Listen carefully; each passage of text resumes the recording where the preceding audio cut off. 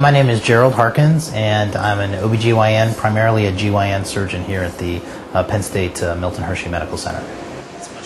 We come in in the morning fairly early, usually by 6 a.m. Uh, we meet and uh, we round as a team to see each of the patients. Two days a week, I go to the office and meet with new patients or meet people with uh, surgical problems. Uh, two to three days a week, then I'm in the operating room.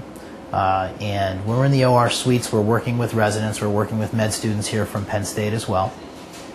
We usually operate throughout the day. Sometime in the afternoon, usually by 3 or 4 o'clock, we finished up. And then as a group and as a team, we'll meet and we'll round again on our surgery patients for the day. And then usually by about uh, 5.30 or 6 o'clock at night, uh, we've made our rounds for the evening and we'll uh, break for the day. That's a pretty standard day for us. Water. For people thinking about a career in medicine, it better be something that um, you have an interest in either science or biology. You don't have to know what you want to do as a 15 year old or a 17 year old. Don't think you have to be an orthopedic surgeon or a GYN surgeon uh, or a neurosurgeon or a family practice doctor, an anesthesiologist, whatever the case. Know that you want to, to go to college and to study science or go to college and study biology and each of those will open up different windows for you as you go on. The People in the OR, the, uh, the OR nurses, uh, nurse anesthetists, anesthesiologists, the, the, the certified scrub techs who work in the OR every day, what a great job uh, for them as well. So there's a lot more to being in the hospital than being the physician. We're, we're probably the minority sort of numbers within the hospital. There's so much support staff, respiratory therapy. I was physical therapy before this. All those people work in the hospital as well and make the process go forward. My name is Teresa Shank, and I'm an OR tech at the Penn State Milton S. Hershey Medical Center. An OR tech is the person who stands beside the surgeon, and when the surgeon asks for an instrument, we pass it to him. I was trained in the military. I was in the military for four years, so I did three years of uh, actual uh, working in the operating room. I uh, came here right from the military. I've been here for 26 years. I like working with the surgeons and I like working with uh, different patients and I also like the staff that we have here. It's very important to be part of the team because without a team concept, you don't work well together.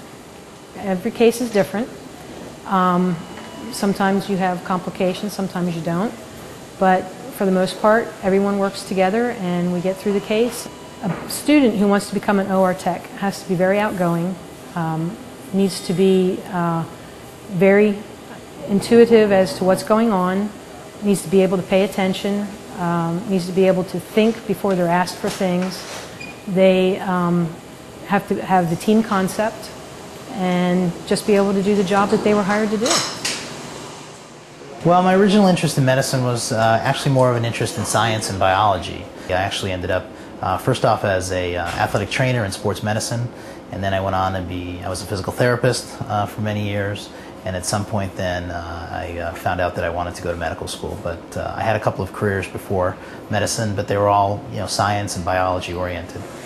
Medical school itself is four years past four years of college then uh, you'll go on to some type of a residency program and res- residency training program, and they can vary anywhere from uh, three to uh, five years as well at that point, you really enjoy what you're doing, and uh, every day becomes sort of an adventure in learning, and it's uh, it's much more. Uh, it, it, seems like a, a, sort of an enjoyable road to go down. I'm Patrick McQuillan, and I'm an anesthesiologist at Hershey Medical Center. Anesthesiologists take care of patients in the operating room, and what's involved in that is monitoring all the patient's uh, vital signs, keeping uh, everything in order, administering the medications and the fluid that the patients need during surgery, and then at the end of the operation, provide a smooth emergence from anesthesia, and then provide um, post-op pain management for patients in the recovery room and in the hospital after surgery. I guess I could say if you're not a morning person, um, you might not consider anesthesia. You, you, you, have to get up early, you know, early, early days. Individuals by themselves uh, can't do this, and it really takes a team. And uh, as you've seen from the, the video here, we have surgeons, anesthesiologists, uh, scrub nurses, scrub techs, um, uh, the operating room nurses. Uh, successful day is um, when you, you, can go home and, and, you, you know in your heart that, uh, that you've taken good care of the patients that you're responsible for. My name is Desiree Oliveri McElhenney, and I'm a certified registered nurse anesthetist. Most days, um, typically we show up around quarter after six, 20 after six in the morning. Um, your duties are such that you need to prepare the operating room before the patient enters. Um, once that is done, we've drawn up our drugs, prepared our equipment, checked everything is functioning.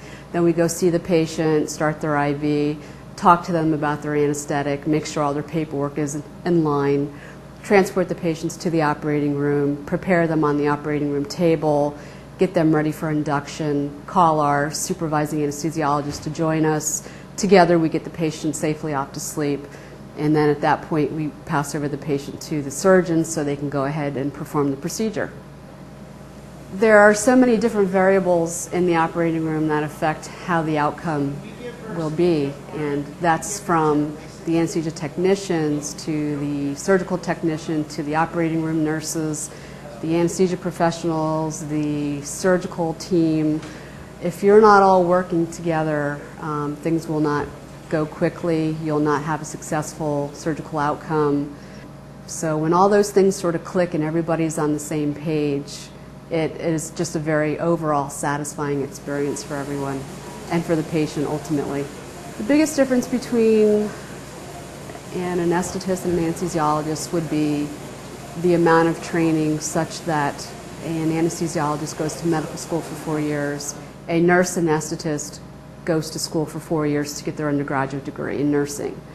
Um, and then the real difference would be the two, two and a half years, the 30 months that it takes to become an, a CRNA. It's a very compressed schedule. It's very intense training, which is didactic and clinical training, all interspersed within that 30 month period.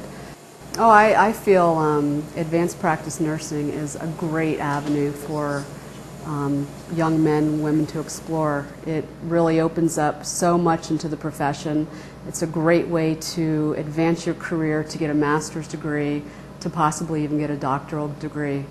Um, and there, there are more financial um, positives to doing it also, but I would hope that's not the only reason people do it. The most rewarding aspect of what my career is, is I know at the end of the day when I've left, I've done the best I can. Um, my patients have all done very well. They've woken up comfortably. Um, we've accomplished the goals of getting them a successful surgical procedure, um, a very good anesthetic, um, and that's a, very satisfying feeling at the end of the day when your patient looks at you and smiles and says thank you. My name's Ann Boyer. I'm a registered nurse in the main operating room at Hershey Medical Center. I just think that nursing in general is a very satisfying and fulfilling job, regardless of whether you're in the operating room or on the floor.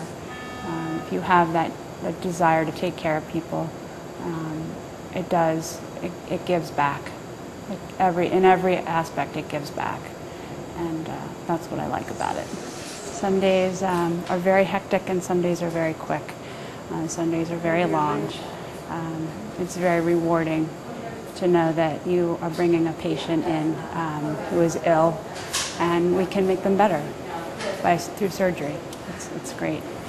I did most of my background education at HAC on a part-time basis. So that took me many years because I was married and had a family It was very, very challenging.